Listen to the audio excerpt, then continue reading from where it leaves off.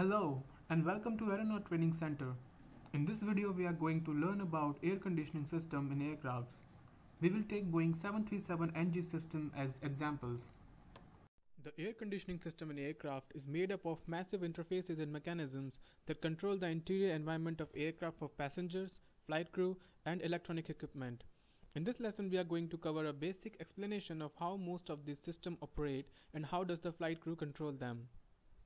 The air conditioning system performs the following functions. It produces fresh conditioned airflow for air pressurization and ventilation by processing bleed air from engines, APU, or a ground source in air conditioning packs. It controls the flight compartment and passenger cabin temperatures. It recirculates around 50% of cabin air for ventilation purposes, which helps in reducing load on air conditioning packs. It also helps in removing unpleasant air from lavatories and galleys. For air conditioning purposes, the 737 NG cabin is divided into three zones. Control cabin, also known as flight deck, forward passenger compartment, and aft passenger compartment. As previously mentioned, conditioned air may come from either of the following sources the two air conditioning packs, ground supplied preconditioned air, and recirculation system. Conditioned air from left pack upstream of mixed manifold flows directly to the flight deck. This is to ensure a constant supply of fresh air to the flight deck and no contaminated air is inhaled by pilots. Excess air from left pack, air from right pack, and air from the recirculation system is combined in main distribution manifold, also known as mixed manifold. Mixed manifold act as a giant pool that collects conditioned air from all sources and supplies it to the respective cabin section that require air conditioning. The mixed air is distributed through the left and right sidewall risers to the passenger cabin. Let's see what actually air conditioning packs are. The word pack is actually an acronym for Pressurization and Air Conditioning Kit. There are two packs on 737NG which are small air compressor that take bleed air from the engines, after which the air is cooled, filtered and delivered to the flight deck and forward and aft passenger cabins for temperature control. Bleed air is discussed in separate video of pneumatic systems bleed air lesson, but basically it is highly compressed, high temperature, high pressure air that is extracted from the fifth and ninth stages of engine compressor for pneumatic power. Both packs form part of cooling process which performs the following functions. It regulates bleed air demand from pneumatic manifold toward the air conditioning packs, removes excessive heat from air entering the packs, and controls the temperature and humidity level of air that exit the packs. The flow of bleed air from main bleed air duct through each air conditioning pack is controlled by respective pack valves. Normally the left pack uses bleed air from engine number 1 and the right pack uses bleed air from engine number 2. A single pack in high flow is capable of maintaining pressurization or cabin altitude up to 8000 feet and acceptable temperature throughout the airplane up to maximum certified ceiling of 41000 feet. The APU is capable of supplying bleed air for two packs on ground or one pack in flight. Most external air carts are capable of supplying adequate bleed air for two pack operation. Do not operate more than one pack from one engine. The connection for the ground pneumatic cart is to the right side of the isolation valve. Moving on, bleed air passes through a flow control valve that regulates bleed air flow according to pack demand. The flow valve is controlled by air conditioning pack switches in the forward overhead panel. There is one switch per engine and both have the following positions off, auto, and high.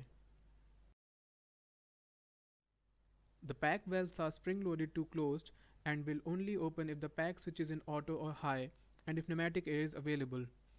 If pneumatic air is not available and the switches are in auto or high position, the valve remain closed. The operation logic is simple. When both packs are operative and their switches are in auto position, the packs provide normal airflow. However, with one pack not operating, the other pack automatically switches to high airflow in order to maintain the necessary conditioned air and ventilation rate.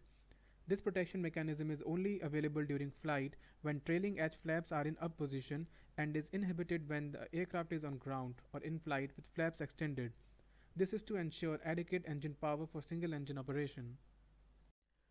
Similarly, like in case of a bleed off takeoff, where both engine bleed switches are off and the APU is supplying pneumatic power, the pack delivers high airflow regardless of flap position, ground air status or number of packs operating. I would try to explain the bleeds off takeoff procedure in detail in a separate video.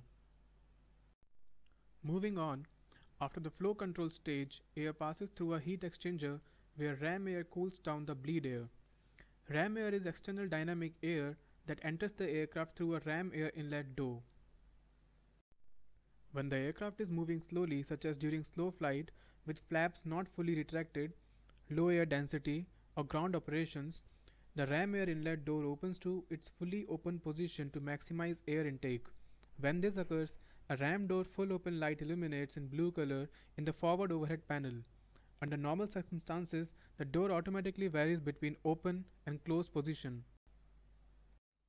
Deflector doors are installed forward of the ram air inlet doors to prevent slush ingestion prior to liftoff and after touchdown. Deflector doors are extended when activated electrically by the air ground safety sensors. Once the initial heat exchanging has taken place, air passes through air cycle machine that compresses, refrigerates and sends the air to a second heat exchanger that also cools down the compressed air with the use of ram air. Afterwards, compressed cool air passes through two more heat exchangers which lower its temperature enough to produce condensation. This is followed by a water separator which removes moisture. Water extraction ducts where water in the airstream is condensed and falls into a sump where it is drained. It is important to keep air free from moisture to minimize the risk of icing at low temperatures.